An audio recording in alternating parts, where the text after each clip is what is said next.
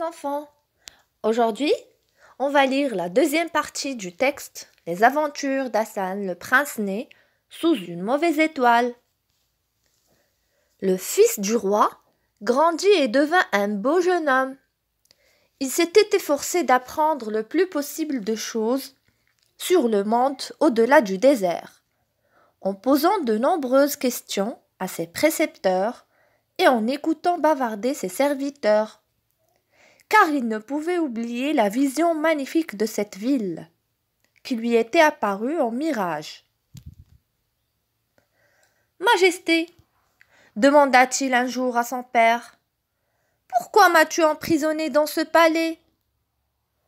Tous sont libres, ils peuvent aller et venir, mais moi, je dois rester derrière ces murs, et je vais mourir d'ennui. Je voudrais me promener dans une forêt me baigner dans les lacs et les rivières, écouter chanter les oiseaux.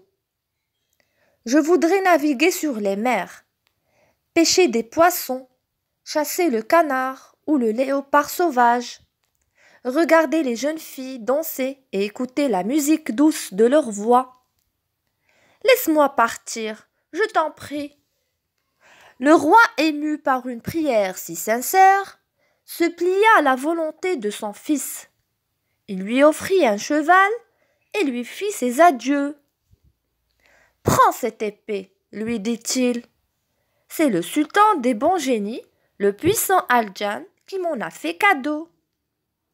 C'est une arme extraordinaire. Elle te protégera. Rien ni personne ne peut résister à la puissance de sa lame. Mais si tu l'égares, il ne te restera plus que quarante jours à vivre. Hassan partit dans le désert brûlant. Alors, j'explique ce que je viens de lire. On comprend que le prince Hassan a demandé à son père le roi de le laisser partir à l'extérieur pour découvrir le monde.